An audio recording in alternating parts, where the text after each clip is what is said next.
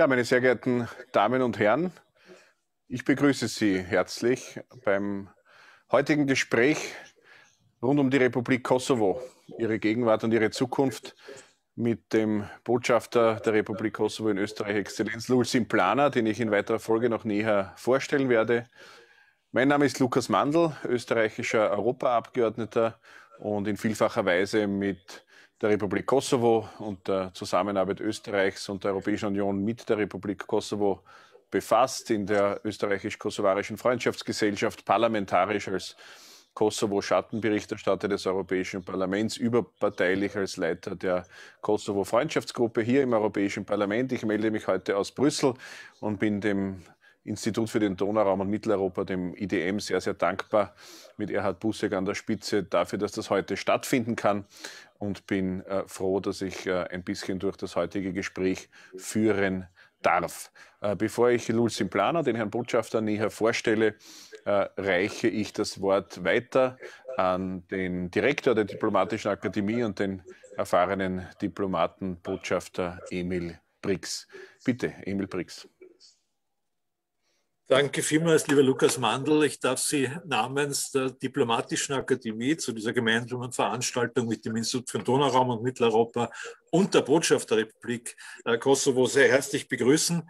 Äh, normalerweise finden die Antritts Vorlesungen der mitteleuropäischen und südosteuropäischen Botschafter äh, real an der Diplomatischen Akademie statt. Wir haben diesmal noch einen virtuellen Rahmen, hoffen aber bald wieder alle auch unsere Freunde aus dem Kosovo wieder äh, persönlich einladen zu können. Die Diplomatische Akademie ist ein guter Ort für so ein Gespräch. Der Herr Botschafter weiß das genau. An diesem Ort wurden teilweise kosovarische Spitzenpolitiker ausgebildet, die in Ministerfunktionen tätig gewesen sind. Und wir sind auch froh, dass wir immer wieder auch Studenten aus dem Kosovo bei uns haben. Diese Veranstaltung mit einem neuen Botschafter ist natürlich etwas, was auch die Gelegenheit bietet, äh, noch einmal darauf hinzuweisen, auch für die Republik Österreich, dass wir Gott sei Dank in Österreich einen breiten Konsens, politischen Konsens haben, der Republik Kosovo auf ihrem Weg zur europäischen Integration in die Europäische Union äh, zu helfen, wie schwierig immer dieser Weg zu sein scheint. Erlauben Sie mir am Beginn ein klares Wort auch zu sagen von meiner Seite. Ich spreche hier als Direktor der Akademie und nicht als offizieller Vertreter äh, der Republik. Äh, für mich ist es eine Schande, dass es leider immer noch EU-Staaten gibt, die den Kosovo diplomatisch nicht anerkannt haben. Herr Botschafter, ich sage das bewusst auch bei dieser Veranstaltung. Äh, und Österreich ist sicher jemand, der daran arbeitet, dass sich hier etwas nach, nachhaltig ändert. Der Titel Ihres Vortrages ist Kosovo ein Mehrwert für die Europäische Union. Äh, und das sagt eigentlich schon alles. Es geht um Stabilität, nicht nur in ihrer Region, sondern in Gesamteuropa. Und dafür äh, kann Kosovo einen wertvollen Beitrag leisten. In diesem Sinn, Herr Botschafter, herzlich willkommen. Ich bedanke mich, dass wir hier dabei sein dürfen und darf das Wort an Dr. Erhard Busseck weitergeben.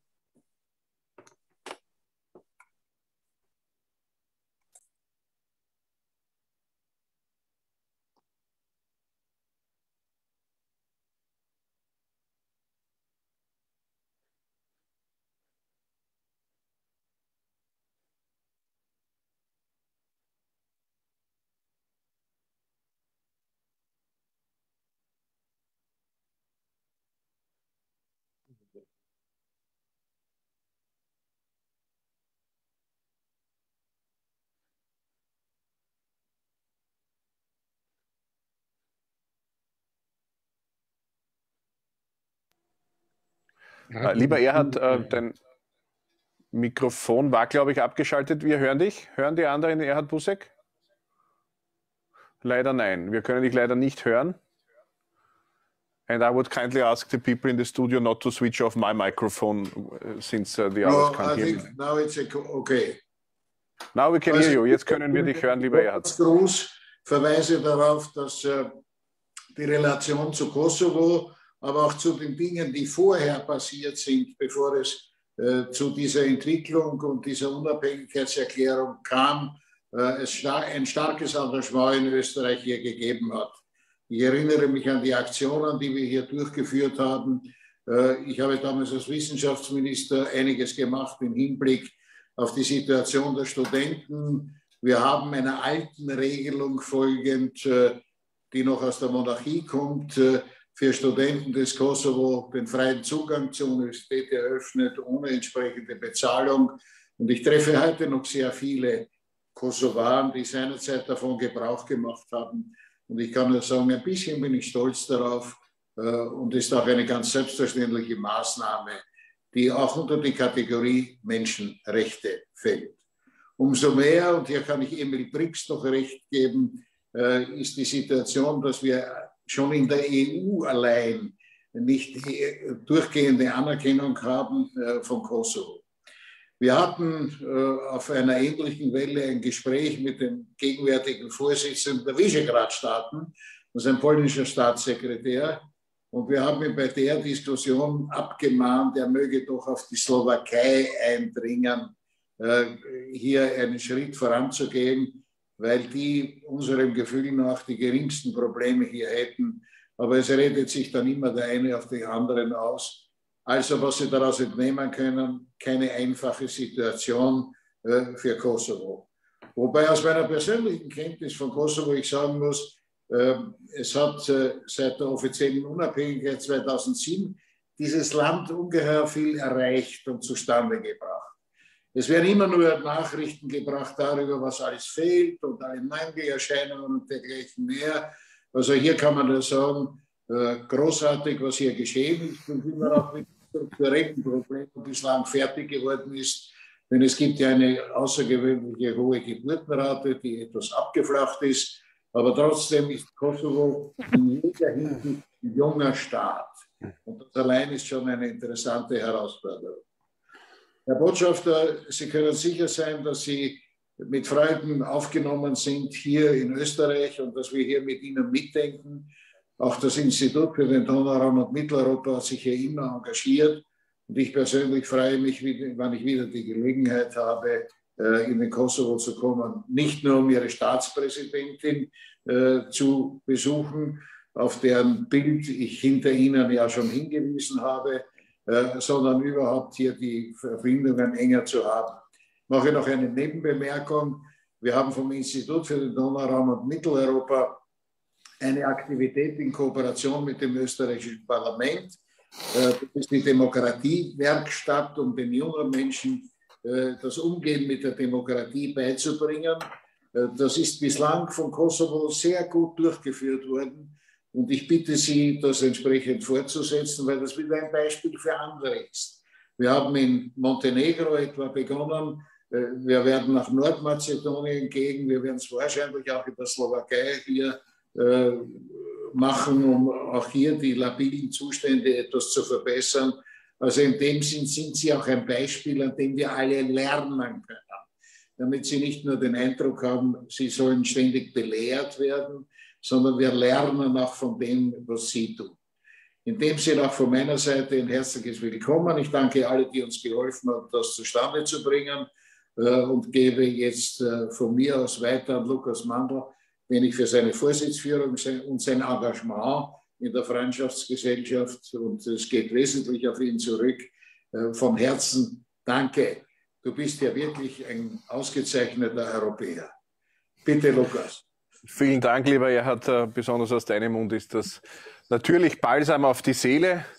Ich freue mich, dass wir jetzt äh, überleiten können zu Lulsin Planer was der Kosovo geschafft hat, hat er auch äh, geschafft, weil er viele Freunde hat. Und viele Freunde hat man, äh, wenn man selbst Freundschaft lebt. Äh, und das tut die Republik Kosovo.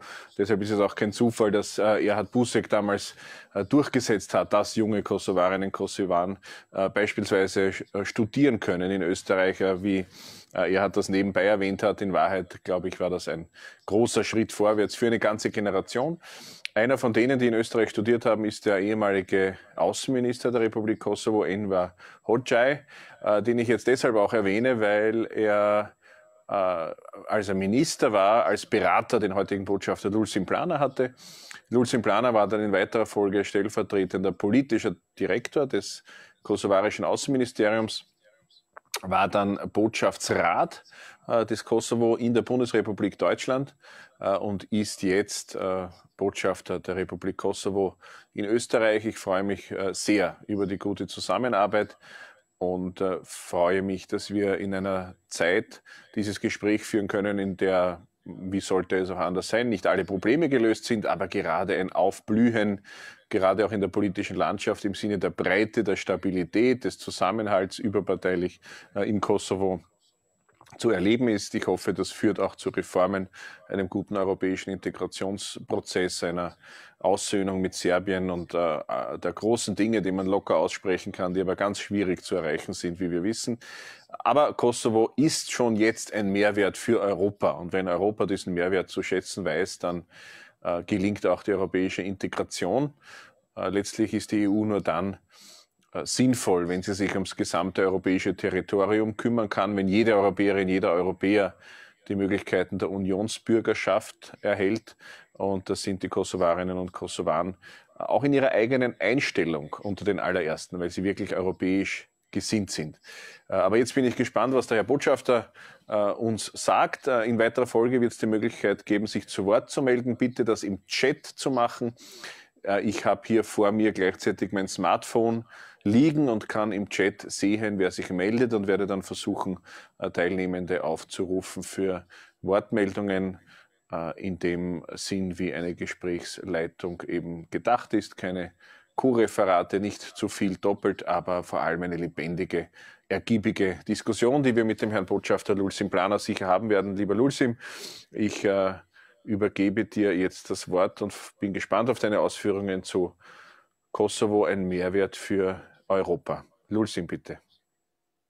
Vielen Dank, lieber Lukas und äh, sehr geehrter Herr Dr. Busek als Vizekanzler. Sie haben wirklich auch ganz, ganz Großes geleistet. Ich, äh, sehr geehrter Herr Botschafter Brix, ich denke, Sie alle haben wirklich einen ganz, ganz großen Beitrag für die Staatsbildung und Deswegen ist es auch für mich eine außerordentliche Ehre, hier gemeinsam mit Ihnen auch dann über den Weg Kosovos oder über die Errungenschaften, was der Kosovo bis jetzt erreicht hat, gemeinsam zu diskutieren und äh, auch dann über die paar Punkte, die Sie auch schon äh, hervorgehoben haben, würde ich mich dann freuen, dass wir nochmal in die Detail, also wie die Demokratiewerkstatt oder eben auf die bilaterale Projekte auch mit der Diplomatischen Akademie oder auch, auch mit der IDM gemeinsam das noch zu besprechen. Sie haben alle einen großen Beitrag, wie gesagt, für die Staatsbildung Kosovos. Also daher äh, bitte lassen Sie nochmal auch im Namen allen Kosovaren nochmal einen ganz großen Dank da noch aussprechen.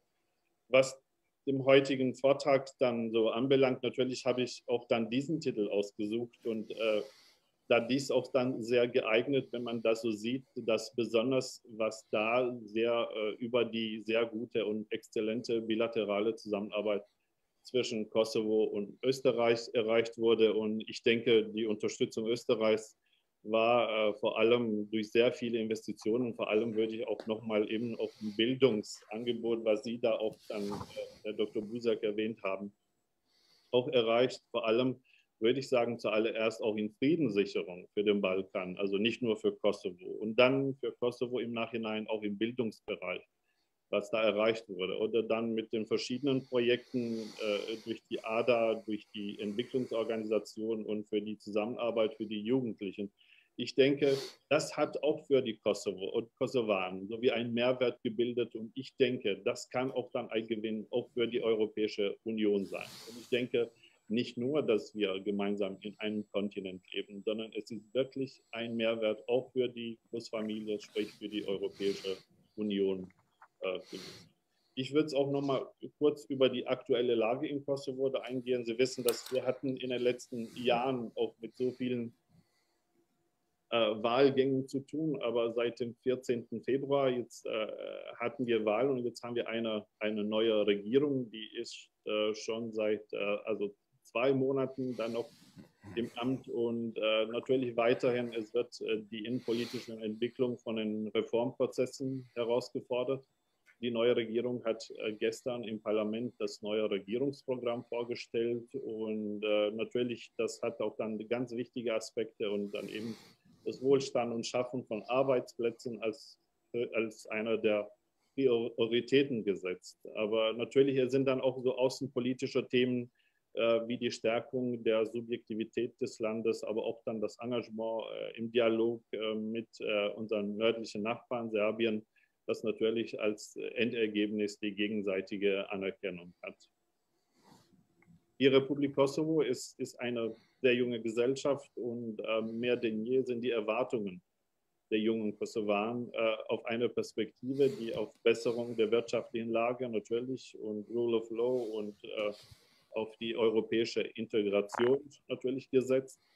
Aber mehr als weniger, also mehr als, als je, äh, wir brauchen jetzt nochmal diesen Kontakt. Also sprich innerhalb der Europäischen Union oder mit der EU bräuchten wir, um was da wirklich auch dann noch hier hervorzuheben wäre, wäre dann die Visa-Liberalisierung, die Bewegungsfreiheit der Jugendlichen, wenn wir wissen, dass über 70 Prozent der Kosovaren unter 35 Jahre alt sind. Also daher also stellt man sich dann so vor, wie ist das wirklich der Bedarf ist und vor allem auch dann im Bereich der Wissenschaft äh, und auch im Bereich der Kultur, dieser Austausch und diese Nähe da wirklich sehr, sehr, sehr wichtig ist.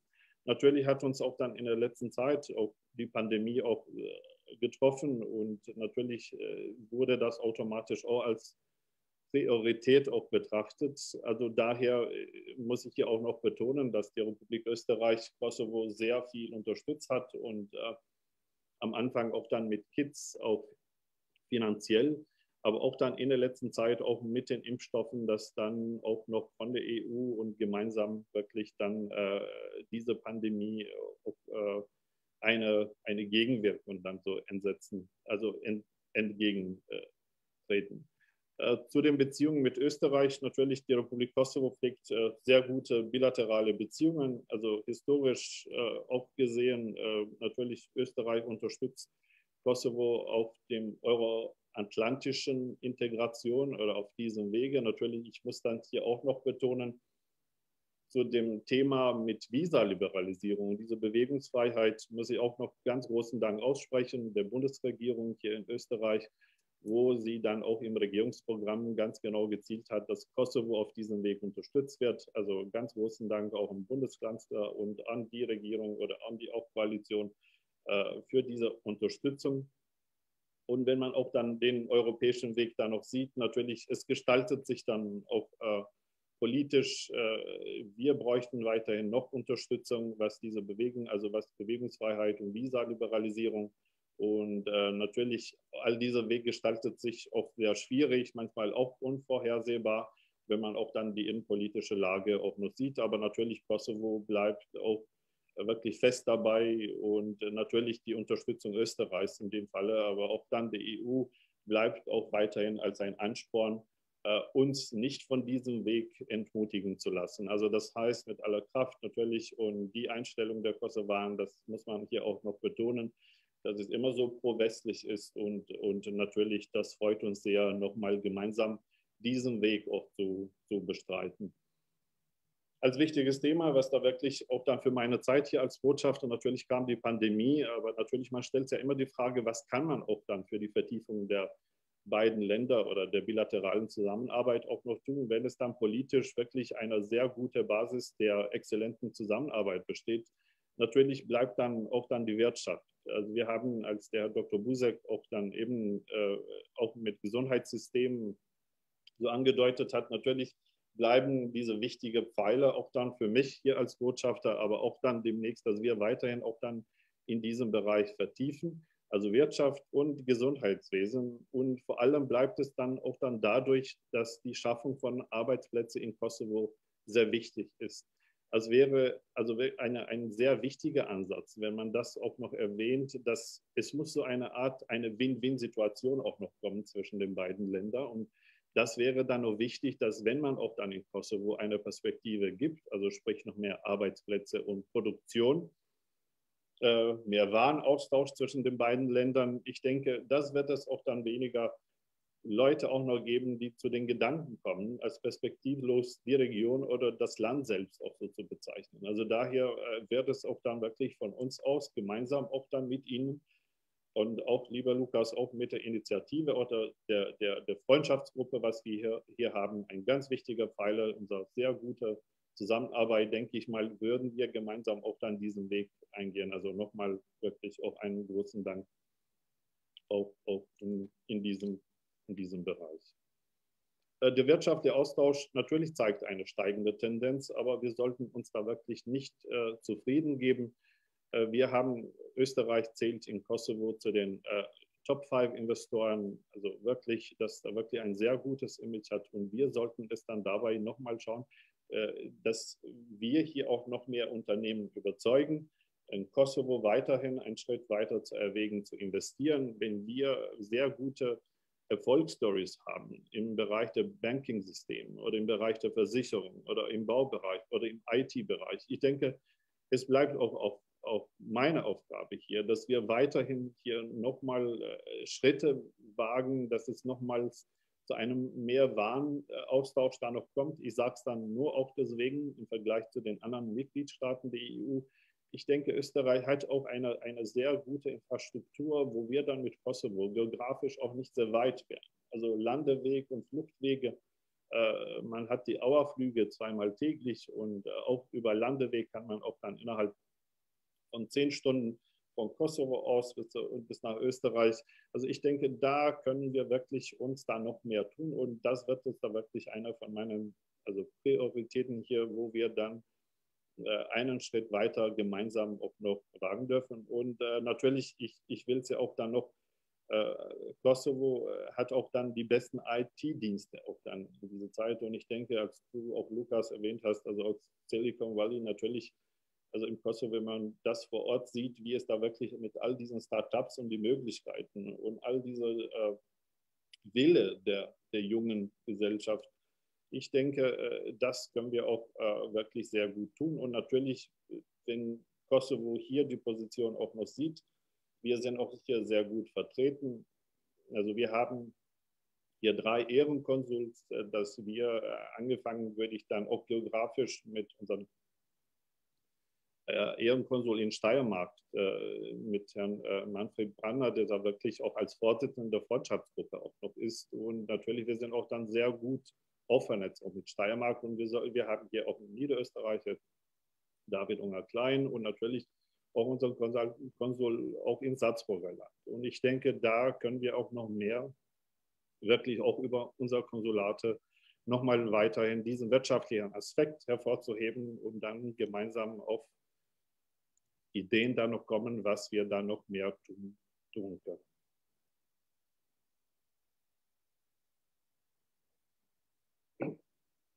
Einen ganz weiteren Aspekt würde ich dann hier auch nochmal hervorheben, dass wir auch eine sehr gute integrierte Diaspora haben.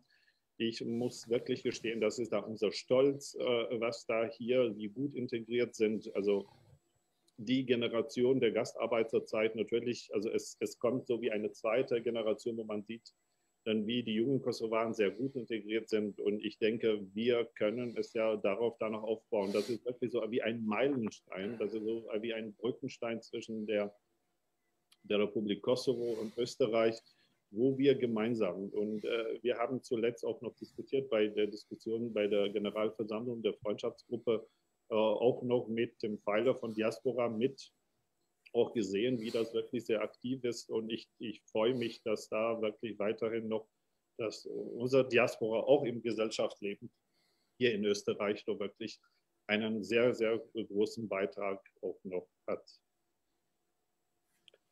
Zu den äh, weiteren äh, Themen natürlich, was sehr wichtig ist und was ich noch hier auch noch weiterhin vertiefen möchte, bleibt es dann die EU. Natürlich Kosovo bleibt äh, weiterhin engagiert und äh, Richtung Europäische Union. Das ist ja die einzige und es, es, es, wird schon und es ist dann tatsächlich so, dass wir, also unser Bemühungen weiterhin sind es dann Teil der Europäischen Union. Äh, Kosovo hat seit 2016, äh, seit April, das erste Vertragsverhältnis mit der EU, also sprich Stabilisierung und Assoziierungsabkommen und natürlich während dieser Zeit, äh, man hat sie wirklich wieder bemüht, immer wieder bemüht mit äh, Reformenprozessen, mit Anstrengungen, ganz diesen äh, europäischen Weg nach vorne zu bringen. Natürlich es, es war auch dann die Visa-Liberalisierung, wo wir seit 2018 nochmal warten mit dem positiven Ergebnis der Kommission und dann auch des Europäischen Parlaments,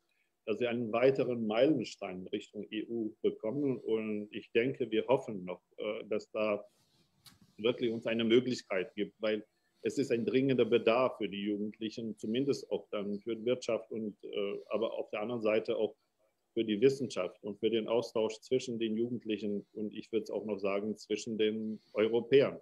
Wir gehören zu einem Kontinent, wir teilen die gleichen Werte und ich denke, darauf werden wir auch noch bestehen. Und, äh, aber auch dann der Reformprozess wird da weiterhin daran gearbeitet und ich äh, freue mich, dass da auch wirklich, dass die Kosovaren wirklich auch diese Einstellung auch noch haben und äh, gemeinsam auch wie mit der Unterstützung Österreichs auch diesen Weg gemeinsam äh, äh, bestreiten. Äh, eine andere Art, was da wirklich als problematisch da wirklich auf unserem Weg sind, ist dann die fünf Anerkenner. Herr Botschafter Brix, Sie haben es da wirklich und äh, äh, Herr Dr. Busek auch noch erwähnt, dass äh, die fünf Nicht-Anerkenner innerhalb der EU. Natürlich, es ist Kosovo ein Faktum, es ist eine Tatsache, das noch besteht. Und ich denke, dass auch diese Länder eine Botschaft äh, verstanden haben. Natürlich, man kann die Probleme nicht innerhalb eines Kontinents ignorieren, weil sonst die bleiben immer da bestehen.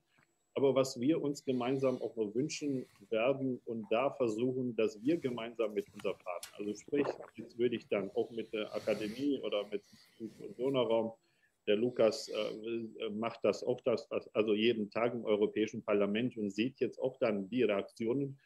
Wir müssen es gemeinsam Fakten schaffen. Fakten heißt es auch dann eben dieser Art der Kommunikation zwischen den Völkern zu ermöglichen. Also sprich, diese People-to-People-Kontakt muss es auch noch genehmigt oder muss es auch zumindest für allem, wenn ein Jugendlicher äh, nach Madrid oder an spanischen Universitäten möchte oder in Slowakei oder in Rumänien. Also da soll eine Möglichkeit gegeben werden, wo es dann wirklich uns da ermöglicht, dass zumindest diese People-to-People-Kontakt äh, zustande kommt. Und ich denke, so viel und äh, mehr oder auch dann mit dem weiteren Schritt im Bereich der Wirtschaft, denke ich, das wäre eine gelungene Mission, wo wir gemeinsam diesen Weg auch noch bestreiten und letztendlich auch dann in, im Bereich, also Dialog. Natürlich Kosovo äh, hat sich engagiert seit über zehn Jahren in einem Dialog und natürlich auf technischen und politischen Ebene. Es war nicht ein langer, es war nicht ein leichter Prozess. Natürlich, das müssen wir auch dann uns ja alle noch vorstellen. Wir wissen, dass das Serbien weiterhin äh, noch wirklich zu den Gräueltaten bekennen muss und äh, natürlich zu den Taten, all diesen Massakern, was da auch im Krieg 99 also in den 90er Jahren passiert hat. Also da muss es da wirklich auch bekennen. Und, äh, und, und, das müssen wir aber auch dann gemeinsam. Natürlich, die Perspektive ist da. Wir müssen uns da vorbereitet auf diesen, auf diesen Dialog und wir müssen auf diese Perspektive. Und ich denke, auch noch darauf da noch zugreifen. Äh, dass äh, gemeinsam können wir das noch schaffen. Ich denke, das wird auch dann seitens Brüssel das vorangetrieben. Äh, es wird auch dann sehr bald auch eine Gesprächsrunde auch noch kommen. Also wir sehen das positiv, aber natürlich Serbien muss es auch dann zu Realität auch dann bekennen. Und ich denke, das soll uns dann allen auch dann gemeinsam Teil der Europäischen Union zu sein. Vielleicht habe ich das nicht so lange, aber natürlich, ich kann noch, noch mal auf irgendwelche, also auf Fragen da noch eingehen, wenn es da noch ist. Also äh, das wäre also nur der erste Part, sage ich mal so, Lukas. Vielen, vielen Dank, äh, Herr Botschafter, für die interessanten und umfassenden Ausführungen. Besonders schön, wenn ich das zwischendurch erwähnen darf, dass du das Silicon Valley Europas äh, erwähnst, weil jenseits der Problemlösung in all den Bereichen ist diese Zukunftsperspektive mit all den jungen Menschen, die im Bereich Digitalisierung tätig sind oder sein wollen, mit äh, diesem niedrigen Durchschnittsalter und den Perspektiven, die ja nicht in der Industrie liegen, weil die ist kaum vorhanden, weil sie nicht tradiert wurde aus den alten Systemen, aber äh, sehr wohl in der Digitalisierung liegen könnten, dass die genützt werden. Das scheint mir äh, ein echter Überlebens- äh, und Lebenszugang und ein Instinkt dafür zu sein. Äh, Herr Botschafter, ich kann gleich zwei Fragen an dich weitergeben, die im Chat gekommen sind, die in eine ähnliche Richtung gehen und die gehen gleich ans Eingemachte. Diese Fragen Äh, die eine ist von Andreas Schauer, die andere von Philipp Müllegger. Äh, Andreas Schauer fragt, Herr Botschafter, gibt es für Sie zeitlich eine Grenze, wo Sie persönlich sagen, dass eine Mitgliedschaft in der Union unmöglich ist und zu weit entfernt ist? Also ich übersetze das jetzt mal. Äh, gibt es eine Stelle, bei der Sie sagen würden, der Berg ist zu steil? Äh, den kann man nicht mehr erklimmen. Und ich fasse gleich zusammen die andere Frage. Äh, wann ungefähr glauben Sie, wird der Kosovo der EU beitreten können? Und dann gibt es noch eine weitere Frage, ebenfalls von Andreas Schauer. Wie macht man die Freundschaft Österreich-Kosovo noch stärker? Zur letzten Frage habe ich auch eine starke Meinung, äh, nicht nur die strukturelle, dass man sich in der Freundschaftsgesellschaft engagieren kann, sondern vor allem die menschliche, indem man Beziehungen pflegt, in der Wirtschaft, in der Wissenschaft, in äh, Sport, Kultur, in den verschiedenen Bereichen. Äh, das scheint mir ein Weg zu sein, die Freundschaft stärker zu machen. Aber Herr Botschafter, das Wort ist bei dir mit der Frage, wie wird das mit der EU-Mitgliedschaft? Ich kann mir vorstellen, was dir im Kopf auch in deinem Kopf vorgeht bei diesen Fragen, weil vieles muss die EU äh, beantworten, weniger der Kosovo. Mhm. Dennoch, die Fragen richten sich an dich und äh, ich bin gespannt auf deine Antwort. Ja, danke, Lukas. Danke auch für die Fragen. Auch von Herrn Schauer. Äh, es war und es ist nicht ein leichter Weg. Äh, wir kennen auch dann von unseren äh, Nachbarstaaten oder eben auch dann, also als Jugoslawien, da wirklich so zerbrach wir sehen, ist dann, dass dann Länder, die, die daraus so entstanden sind, sind jetzt auch dann heute Mitglied der EU und wir wissen es ja auch dann, äh, was für ein langer Weg das war. Und natürlich, es ist uns bewusst, dass es, es ist ein steiler Weg und es ist ein harter Weg. Auf der anderen Seite, wir verstehen diesen Weg oder auch im Kosovo wird dann dieser Weg auch, auch als eine, eine Art der Reform, des Reforms und des Modernisierungs. Und deswegen wird es auch dann gleichzeitig auch so verstanden, dass es da wirklich der harte Weg, also, also bis zum Ziel, natürlich wird es dann nicht leicht. Manchmal kommt es auch dann zu diesen Unverständnissen, wenn man auch das nicht sieht, dass selbst wenn Auflagen sind, wie es das Beispiel mit all diesen Benchmarks, mit äh, der Visafreiheit, natürlich man überlegt sich dann, äh, was kommt es da wirklich in Stolpern. Auf der anderen Seite wir, haben, wir hatten auch dann eine neue äh, Weltpolitik, die angepasst werden muss. Natürlich, es war auch dann nicht leicht für uns. Also wir hatten es ja auch dann Migration und äh, es war auch dann eine Erweiterungsfatigue. Also wir hatten es ja auch dann verstanden, aber was wir auch da nicht verstanden haben, warum sind es dann, warum fehlt diese Einstimmigkeit? Wenn man auch selbst mit den Auflagen und all diesen Prozessen, also sprich die Visa-Liberalisierung, was da wirklich sehr von uns, also wir gehören zu einem Kontinent und, und, selbst wenn man das uns ignoriert, natürlich dieses Problem bleibt dann auch noch entstehen und äh, es wird keine andere Alternative auch noch geben. Also wir werden unsere Bemühungen weiterhin da fortsetzen und äh, das wird auch dann äh, so bleiben. Wir gehören zu einem Kontinent, wir teilen die gleichen Werte und äh, es wird ja auch dann keinen Zeitpunkt da noch geben, wo wir sagen, wir geben auf und wir gehen andere. Also wir bleiben innerhalb des Kontinents und natürlich jeder Mitgliedstaat, der auch dann hatte, die eigene Geschichte, äh, Teil äh, der äh, EU zu werden. Und natürlich, wir haben auch unsere, aber natürlich, wir erwarten noch mehrere Signale. Also sprich dann seitens der EU, dass der Kosovo nicht auf diesem Wege alleine gelassen ist und trotzdem werden unsere Bestrebungen und unsere Bemühungen weiterhin darauf bestehen. Und wie gesagt, also es wird dann auch als, als Reformprozess, als Modernisierungsprozess, aber auf der anderen Seite, Kosovo braucht auch dann positive Signale, auch dann Entwicklung. Ich würde öfter noch sagen, wenn es dann mit der Visa-Liberalisierung in absehbarer Zeit klappt, natürlich, wir werden uns, also die Bemühungen werden es ja auch dass wir vielleicht auch, jetzt wurde es ja ab und zu mal auch den Kandidatenstatus auch noch erwähnt, aber das müssen wir auch dann nochmal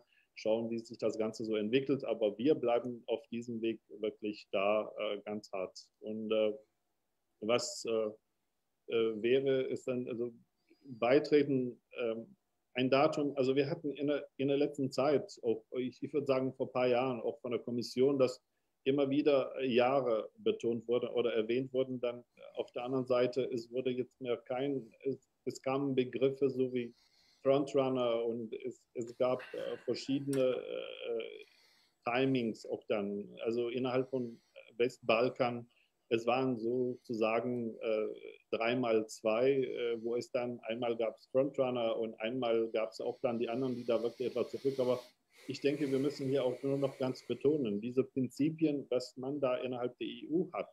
Also man muss jetzt auch dann im Bereich des Balkans wirklich auch noch äh, so formulieren, dass wir künftig nicht Probleme mit dem EU-Fortschritt haben. Also sprich jetzt, wir dürfen es ja keinen, oder die EU muss das genau auch noch sehen, das sollten es ja Länder da noch geben. Ich würde es jetzt auch da nicht erwähnen, dass wir dann wirklich dann keine Art Hindernis für die anderen Länder werden. Und äh, natürlich, diese Frontrunner wissen das auch schon und ich glaube auch dann innerhalb der EU Lukas weiß auch noch besser und Botschafter BRICS auch von den sehr vielen Veranstaltungen, die man auch, oder der Herr Dr. Busek von den Veranstaltungen hier in Wien.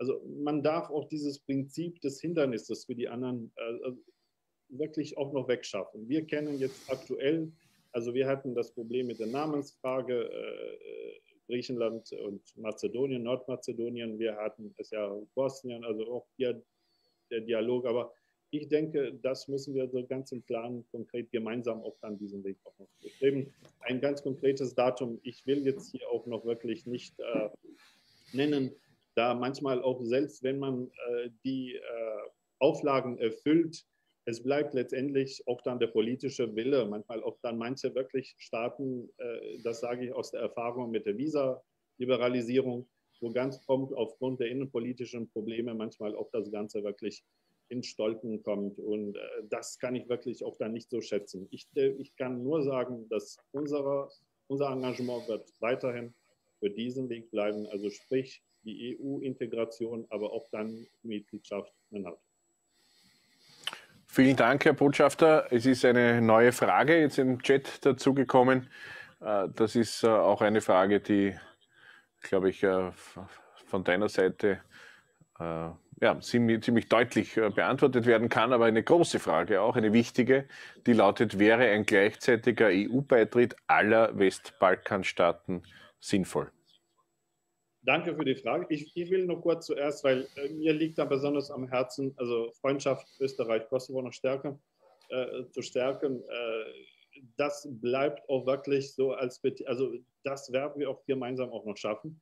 Es ist auch für mich nicht leicht, wenn man auch dann auch all in dieser Pandemiezeit und auch mit der wirtschaftlichen Entwicklung, mit all diesen Prognosen vom, äh, vom Kosovo oder Westbalkanstaaten. Natürlich, wenn man im Büro ist, man stellt sich immer die Frage, was kann man noch mehr tun? Und natürlich, ich habe das, also Wirtschaft erwähnt und also Politik wirklich sehr hervorragend. Aber wir sollen es ja gemeinsam. Und ich denke, das können wir gemeinsam, Lukas, mit der Freundschaftsgruppe, auch dann mit unseren äh, Freunden auch noch hier im ganzen Österreich nochmal äh, das zu vertiefen. Also kulturell bleibt es auch da noch mehr zu machen. Also die Botschaft wird sich dann aktiv, also, also Post-Pandemic-Zeit, also wird schon auch da wirklich geben, dass wir mit verschiedenen Veranstaltungen nochmal uns da ganz äh, diese Art, also diese, diese besondere Freundschaftsbeziehung, diese einzigartige, was wir haben, nochmal hervorzuheben. Und ich freue mich da wirklich tatkräftig mit dabei zu sein. Äh, die letzte Frage wäre ein gleichzeitiger EU-Beitritt von Westbalkanstaaten sinnvoll. Ich denke, das ist, das ist, der, das ist der Kernpunkt. Und äh, da muss man auch äh, genau sehen von den letzten äh, Treffen, was wir da noch haben. Und es, es bestehen da manchmal auch dann diese Reibungen, wo ab und zu mal äh, nicht da so versteht, aber in der EU-Frage, da müssen wir auch dann wirklich gemeinsam. Und hier muss der EU, also die EU, einen Beitrag leisten. Natürlich, die Unterstützung wird ja auch da noch kommen. Und ich denke, das wäre auch dann ein sehr, sehr guter Weg, wo wir gemeinsam dann Teil der EU-Familie sein dürfen. Natürlich, jedes Land wird das die Probleme haben. Ich denke, selbst wenn ein, ein, ein, äh, einer Zeit, wo dann die Länder äh, Mitglied geworden sind, also die Probleme, also werden schon einige dann bestehen bleiben. Aber natürlich äh, es freut uns ja sehr. Also die Pandemie hat auch so gezeigt, dass was bedeutet die Gemeinsamkeit? Was bedeutet eine gemeinsame Entscheidung zu treffen? Ich denke, das würde uns ja ganz stärken. Also nicht nur Balkan, sondern auch dann äh, die gesamte Europäische Union. Vielen Dank. Äh, ein wichtiger Überblick. Es gibt einen sehr schönen Beitrag von Susanne Perkins. Äh, sie schreibt, meine Frage war auch, wann glauben Sie, dass Kosovo zur EU kommen könnte? Aber da diese Frage schon gestellt wurde und auch beantwortet, äh, Herr Botschafter, Äh, vielen Dank davor. Möchte ich nur einen Kommentar abgeben. Als FH-Lektorin für Business English hatte ich einige Male das Vergnügen, junge Kosovaren zu unterrichten, schreibt Frau Perkins, und war von ihrer aktiven Mitwirkung und ihrem Interesse, sich weiterzubilden, sehr angetan. Daher würde ich es durchaus begrüßen, wenn Kosovo in die EU aufgenommen würde. Also was Frau Perkins schreibt, ist, glaube ich, für viele, viele Menschen, die zum ersten Mal intensiv mit dem Kosovo zu tun haben, besonders mit kosovarischen Jugendlichen, bekannt und eine schöne Erfahrung, dass dieser Wille zu lernen, auch der Wille zu arbeiten, die große Weltoffenheit äh, kosovarischer Jugendlicher wirklich etwas Besonderes ist. Und äh, ja, auch da gilt der Grundsatz, ein Mehrwert für Europa, wie ja auch der, der Titel der heutigen Veranstaltung lautet. So, dankenswerterweise sehe ich jetzt, dass äh, im QA, das ich auf meinem Handy nicht sehen kann, Fragen da sind und die möchte ich jetzt weitergeben an Sie, Herr Botschafter, an dich, Herr Botschafter, will ich sagen, lieber Sim, heute sind wir so offiziell, dass ich gleich Sie sage. Karl Bauer schreibt, als jahrzehntelanger Kenner des Kosovo sehe ich die Entwicklung der Märkte, vor allem in der Landwirtschaft. Die Menschen brauchen staatliche Unterstützung und ein positives Image, ihr Land weiter zu bewirtschaften. Müssten gut ausgebildet und gefördert werden, dann müsste aber auch der Import reguliert und die eigene Produktion geschützt werden, damit nicht die Milch weggeschüttet werden muss. Äh, ich fasse das mal zusammen, Herr Botschafter. Die Zeit läuft nämlich schon. Wir haben nur noch eine Viertelstunde, äh, daher gleich das nächste. Äh, da kann ich den Namen nicht sehen, von wem das kommt, aber ich kann es vorlesen. Herr Botschafter, wie sehen Sie, steht hier, den Vergleich zwischen dem Prespa Peace Abkommen von 2018 und dem Dialog Belgrad-Pristina. Ich nenne es ja Dialog Kosovo-Serbien, weil es sprechen nicht zwei Städte miteinander, sondern zwei Staaten. Dann haben wir hier die Frage, eine der Voraussetzungen für die EU-Mitgliedschaft ist die WTO-Mitgliedschaft wird zumindest in den Raum gestellt. Leider sind Kosovo, Bosnien und Serbien noch nicht Mitglied. Wie ist die aktuelle Situation und wird die EU auf die gemeinsame Aufnahme aller drei zukünftigen EU-Mitgliedstaaten bestehen und sie miteinander junktimieren, um sicherzustellen, dass Kosovo auch in die WTO aufgenommen werden wird, gemeinsam mit Bosnien und Serbien am besten 2022. Auch das ein großes Wort gelassen ausgesprochen. So, wir müssen jetzt ein bisschen in die Zielgerade kommen, wenn ich die vielen Fragen sehe. Ich sehe jetzt auch, alle vier Fragen sind von Günter Fehlinger, übrigens ein Inspirator der österreichisch-kosovarischen Freundschaftsgesellschaft. Der hat als Freund zwischen, zwischen Dessert und Hauptspeise gewissermaßen zu mir gesagt, äh, was ich davon halte, die österreichisch-kosovarische Freundschaftsgesellschaft zu gründen. Und daraus ist dann ein großes Tortenstück meines Lebens geworden. Äh, was nicht heißt, dass ich mit dem Günther immer einer Meinung bin, aber ich verlese seine Frage. Sehr geehrter Herr Botschafter, wie ist der aktuelle Stand in Bezug auf Mitgliedschaft bei Partnership for Peace, bei NATO für Kosovo und wann glauben Sie, wird Kosovo Mitglied der NATO werden? Vor oder gemeinsam mit Österreich? So Günther Fehlinger. Und noch einmal Günther Fehlinger. Bosnien und Kosovo sind beide nur potenzielle EU-Kandidaten. Alle vier anderen Westbalkanstaaten sind das schon. Unterstützt Österreich den EU-Kandidatenstatus von beiden, Kosovo und Bosnien, jetzt im Juni 2021? Und wenn nicht, warum nicht? Und wenn ja, was wird unternommen, um das nun durchzusetzen und bitte nicht auf den Dialog verweisen? Belgrad kann kein Veto über die EU-Mitgliedschaft von Bosnien und Kosovo haben.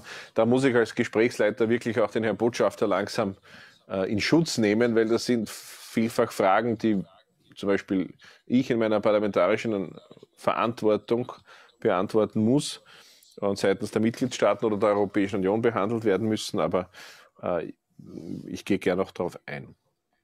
So, äh, ich muss jetzt das schließen. Hier bitte keine neuen Fragen posten, aber die vorhandenen stelle ich noch. Und der Herr Botschafter hat ja schon den äh, Stift gezückt, damit alles mitgeschrieben und beantwortet werden kann. Caroline Jäger-Klein schreibt, wie steht es denn mit dem UNESCO-Beitritt des Kosovo? Wie mit den UNESCO-Welterbestätten im Kosovo und deren Monitoringmöglichkeiten seitens des Staates? Anlassfall. Kloster Dejan ist aktuell auf der Liste der sieben Most Endangered Sites seitens Europa Nostra. Professor Jäger-Klein, IZOMOS, Präsidentin Österreichs und des Südosteuropa-Netzwerks von IZOMOS, des Beratergremiums für Kulturerbe der UNESCO. Schön, äh, Frau Jäger-Klein, Sie auf diesem Weg äh, wieder einmal zu sprechen oder zu lesen in meinem Fall. Philipp Mühlegger noch einmal. Was, wenn Serbien der EU beitritt und weiterhin den Kosovo nicht anerkennt? Das äh, wird nicht passieren, ist meine Hoffnung. Könnte das den Integrationsprozess für den Kosovo nicht erschweren? Vor allem, da bislang eher eine Normalisierung der Beziehungen als eine offizielle Anerkennung von EU-Seite gefordert wird. Gut, äh, der Kosovo ist anerkannt, äh, anerkannt von 23 oder besser gesagt 22 EU-Mitgliedstaaten, fast allen. Eine kleine Minderheit ist noch nicht anerkennend und das Europäische Parlament, das im Namen der Bürgerinnen und Bürger spricht, hat überhaupt keinen Zweifel an der Staatlichkeit des Kosovo. Allerletzte Frage von Mergim Latifi. Ich hoffe, ich spreche den Namen richtig aus. Wann rechnen Sie mit der Mitgliedschaft von Kosovo im UNESCO-Weltkulturerbe? Das ist eine Frage, die verwandt ist mit der Frage, die die Frau Professor Jäger-Klein auch schon aufgeworfen hat. Lulsim, ich weiß mittlerweile, wie du arbeitest. Du kannst doch viele Fragen auf einmal verarbeiten. Das waren jetzt alle. Und äh, ich freue mich sehr auf deine Antworten. Natürlich juckt es mich auch, auf das eine oder andere einzugehen, äh, aus Leidenschaft für den Kosovo. Aber das können wir an anderer Stelle tun. Äh, wir haben noch äh, zwölf Minuten äh, im geplanten Zeitrahmen und ich bin gespannt auf deine Reflexionen zu den Fragen, die jetzt aufgeworfen wurden. Das Wort ist bei dir, lieber Lucy Planer, Herr Botschafter. Danke für die, für die Fragen. Ich werde es versuchen nochmal, dass ich habe so ganz fleißig mitgeschrieben, dass ich da wirklich nicht äh, vergesse, aber bitte, wenn es dann wirklich noch gibt, dann bitte so in Kommentar kurz. Also was Landwirtschaft anbelangt, natürlich, äh, wenn man als Botschafter, man stellt sich immer so die Frage, also was sind die Stärken des eigenen Landes und natürlich ist das Landwirtschaft ich habe das auch nur vorhin angedeutet, wie wichtig ist, dass der Warenaustausch ist. Und ich, ich bin auf diesen Ansatz so gelandet, dass es muss eine Win-Win-Situation kommen, vor allem mit den Unternehmen in Österreich. Wenn man so mal einkaufen geht, also man sieht, dass da wirklich, es besteht immer eine Nische aus den äh, westlichen Balkanländern und man sieht die Produkte, aber man schaut, wo bleiben die Produkte von meinem Land zum Beispiel oder äh, gibt es da Probleme? Und und ich habe da wirklich ganz genau den Dialog mal ausgesucht mit den Unternehmen hier und mit den Betrieben und natürlich auch dann mit, äh, mit verschiedenen, auch dann Landwirten hier, wo ich eine Diskussion da noch hatte. Also ganz, selbst wenn das Pandemie war, ich habe das wirklich so mit, mit, mit den Abständen und mit den Maßnahmen versucht, das wirklich herauszubekommen, was wäre wirklich das so eine Möglichkeit. Und, das, und daraufhin bin ich dann in Kosovo geflogen wo ich dann mit den, unseren Unternehmen einen Kontakt dann noch hatte. Und ich habe da herausgefunden, dass es muss eine Win-Win-Situation kommen, wenn es da wirklich die Landwirtschaft Produkte gibt. Ich habe die Unternehmen auch mal versucht und es besteht da Bedarf, wirklich die Produkte zu exportieren und hier auch dann so zu importieren. Ich denke, wenn es da Produktion gibt und da hier eine Vermarktungsnische oder Möglichkeit gibt, ich denke, werden es ja viele, viele einen Job da bekommen. Das wäre es dann auch eine Perspektive und genauso würde es ja auch eine Perspektive zugesichert. Also man kommt zu den Gedanken, wirklich das Land wirklich ohne Perspektive da zu schauen. Man kann wirklich die, all dieser schönen Acker, was wir da noch haben, wirklich dann äh, zu arbeiten. Und ich denke, das wäre dieses Produkt, wo wir im Bereich des Landwirtschaft oder eben des Warenhandels auch nochmal darauf da noch eingehen würden. Ich denke, dass eignet sich eine sehr, sehr gute Perspektive, wo ich dann äh, wirklich mit meinen Besuchen in verschiedenen äh, Bundesländern hier war und wirklich auf einer Willkommens, äh, wirklich, ich würde sagen, Fuß oder eben Möglichkeit da gestoßen bin. Und ich denke, darauf können wir auch dann gemeinsam auch nochmal auf die anderen Veranstaltungen noch tiefer eingehen. Was den Dialog und das mit Prespa, ich denke, wir hatten auf dem Balkan äh, diese drei Schwerpunkte zu tun und es war pressbar und es war der Dialog und ich denke, das größte Problem wird es dann noch Bosnien geben. Ich bin jetzt ein Botschafter von Kosovo, aber wenn man die politische Lage auf dem Balkan sieht, ich denke, dass wenn man mit unseren Bemühungen oder seitens der EU noch mehr aktiv und ich denke, auch dann die Rolle der USA ist ja auch dann umstritten, also aber auf der anderen Seite wir sind engagiert, wir bleiben da und mit diesem Dialog muss es dann wirklich ein Ende kommen, wo dann die gegenseitige Anerkennung auch noch kommen wird. Ich habe das auch vorhin betont, dass auf Seiten Serbiens Schritte gemacht werden müssen. Und äh, also das sehe ich da wirklich, dass äh, mit PESPA ist es schon hinter sich. Also man sieht wirklich, wenn man sich engagiert, man sieht ein, man hat ein konkretes Ergebnis. Und ich denke, da sind wir auch. Und da müssen wir aber auch seit zehn Jahren, da müssen wir dann ganz langsam auch dann genau, wo es dann die gegenseitige Anerkennung kommt. Und äh, das andere, ich denke, die EU wird sich dann so engagieren, dass wir auch dann mit Deutschland ganz langsam und deswegen ist es auch dann wirklich eine Bejahung des gemeinsamen äh, Beitritts auch dann äh, der Westbalkanländer auch dann in, die EU. Äh, das war auch dann äh, äh, von äh, den wirklich sehr verehrten Günter Fehlinger, der also wirklich auch dann hier die Gelegenheit nutze zu begrüßen, weil ein ganz großer Beitrag auch in der Freundschaftsgruppe, aber auch dann hier äh, Kosovo engagiert sich, also von Anfang an angedeutet, dass es bleibt dann unsere einzige und es ist die einzige, also es gibt keine andere Alternative, Mitglied in der EU und gleich auch in der NATO und, und das wird sich schon auch so ergeben. Also Kosovo hat jetzt auch ein Verteidigungsministerium und hat da wirklich alles auch dann nach den Richtlinien von NATO auch so wirklich so engagiert und wir wollen wirklich, und das muss ich auch noch betonen, äh, vor ein paar Wochen hatten wir eine, eine, ein kleines Team auch dann von der Kosovo Security Force auch in Ausland geschickt. Das heißt also von den äh, Kosovo zeigt sich auch dann wirklich, dass es für Ruhe und Frieden einen Beitrag leisten kann. Und ich denke, das wird sich auch dann langsam auch in der NATO-Mitgliedschaft das auch wirklich sehr gut dann noch zeigen. Äh, was den WTO und all den äh, internationalen Organisationen also ich würde hier noch sagen, ich persönlich äh, wünscht man sich immer so für das Land. Also wir bleiben engagiert. Ich will jetzt auch da nicht sagen, natürlich für eine solche Entscheidung, es obliegt dann immer den gewählten Politiker, aber auf der anderen Seite, wir sind engagiert, dass wir weiterhin, also wir hatten gestern äh, die Präsentation oder die Vorstellung des Regierungsprogramms. Wir arbeiten auch noch hart äh, daran und äh, was UNESCO auch sehr wichtig, ich kann das auch sehr gut verstehen.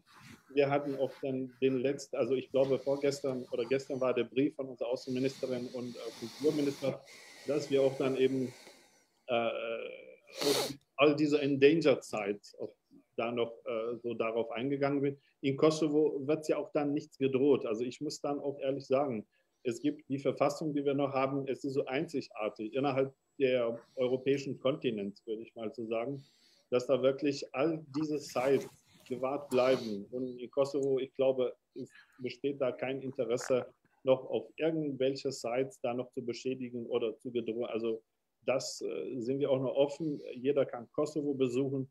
Ich freue mich dann wirklich äh, für jeden eine Agenda zum Handel Kosovo zu besuchen. Ich würde mich auch dann wirklich. Und ich, ich danke auch dann für den äh, Beitrag auch an Professorin Caroline Jäger-Klein. Ich, ich, also wir stehen auch bereit für den weiteren Austausch. Aber im Kosovo wird ja nichts gedroht. Auf der anderen Seite, wir werden uns bemühen, so viel wie möglich natürlich, dass wir Teil der verschiedenen Organisationen sind. Und äh, das bereichert auch dann die, die Subjektivität Kosovos auf dem internationalen Podium. Wir sind auch ein kleines Land. Natürlich, die Unterstützung wird ja weiterhin benötigt hier auch nochmal hier die Unterstützung Österreichs auch dann in jedem Bereich. Und ich denke, äh, da können wir auch dann auch selbst diese Herausforderungen auch gemeinsam noch äh, bestreiten. Äh, genauso gilt es auch dann für die WTO. Auch in der Vergangenheit, Kosovo hat so viel Erfahrung mit den Mitgliedschaften. Und natürlich, wir müssen hier auch so ganz präzise sein, äh, was wird unser Weg sein. Und, und und wie wird das auch so äh, gestellt? Und ich denke, gemeinsam mit der, äh, mit der Außenministerin, die da wirklich äh, jetzt auch äh, neu im Posten, aber sehr engagiert ist, wir werden es ja auch dann demnächst ganz positive Signale auch noch senden. Und es bleibt dann aber auch, wie die Diplomatie manchmal auch verlangt, dass wir äh, gemeinsam, aber auch dann mit unserem Partner all diesen Weg und nochmal diesen Austausch ich schließe das nicht jetzt noch aus. Also wir hatten, wie gesagt, gestern die Vorstellung des Programms aber es bleibt dann nochmal in der nächsten Zeit nochmal gemeinsam, äh, dass wir noch, noch austauschen, um über diese Ziele äh, nochmal darauf dann noch einzugehen. Danke, Herr Botschafter. Äh, das war wirklich eine wertvolle, dichte, substanzielle Stunde. Man äh, merkt, äh, wie Sie, Herr Botschafter, wie du, Herr Botschafter, dich schon eingearbeitet hast in Österreich in dem guten Jahr. Man verliert ja die Zeit zeitliche Dimension, den zeitlichen Überblick während dieser Pandemie. Und ich bin sehr, sehr froh, äh, dich in Österreich zu wissen und diese gute Zusammenarbeit pflegen zu können. Äh, ich freue mich auch, äh, dass das Ganze heute eine Kooperationsveranstaltung des Instituts für den Donauraum und Mitteleuropa und der Diplomatischen Akademie ist, wenn ich Emil Brix richtig verstehe, weil das unglaublich wertvoll ist. Ich darf zitieren aus dem Buch meiner Kollegin Ulrike Lunacek, die Kosovo-Berichterstatterin des österreichischen des Europäischen Parlaments war und in ihrem Buch einen Amerikaner zitiert, äh, der offenbar gesagt hat, Österreich habe kaum geopolitische Bedeutung, nur am Balkan sei Österreich eine Weltmacht. Ich sage das nicht, äh, weil ich mich gerne als Weltmacht gerieren möchte als Österreicher. Ich sage das eher, weil ich die Verantwortung, die wir Österreicherinnen und Österreicher haben, historisch, auch gegenwärtig, auch durch die vielen menschlichen Beziehungen und Verknüpfungen zwischen Österreich, dem Westbalkan und speziell dem Kosovo, weil ich diese Verantwortung unterstreichen möchte. Und dieser Verantwortung kommen Erhard Bussek und Emil Brix nach. Viele, die heute teilgenommen haben, Andreas Schauer hat in den Chat sich auch bei dir, Herr Botschafter, äh, und bei uns bedankt für die heutige Veranstaltung. Ich danke vor allem den Teilnehmenden dafür, dass sie die Veranstaltung bereichern äh, und äh, nicht nur durch Fragen, sondern auch durch aufmerksame Beiträge auf den verschiedenen Kanälen wirklich unterstützt haben. Für mich selber ist auch vieles dabei, das ich neu mitnehme, unter anderem was Frau Jäger-Klein eigentlich zum Weltkulturerbe wieder gesagt hat. Etwas, das hatte ich schon mal am Radar und wie das Leben so spielt, ist es wieder äh, aus dem Radar äh, geraten. Und ich, ich wäre nicht ganz glücklich, würde ich nicht nochmal das Silicon Valley Europas erwähnen, weil Digitalisierung, Investitionen in Digitalisierung, vielleicht hört ja jemand zu, der sinnvolle Anlage auf nachhaltiger, zukunftsfähiger Basis auch sucht äh, in Menschen, die äh, ganz viel Leidenschaft, Wissen, Willen äh, und Arbeitsintensität einbringen und die jung sind, dann, dann wäre es auch gut, diese Dimension des Kosovo vor Augen zu haben. Herr Botschafter, möchtest du noch verabschiedende Schlussworte sagen? Dann Lulsin Planer, freue ich mich auf dein Schlusswort.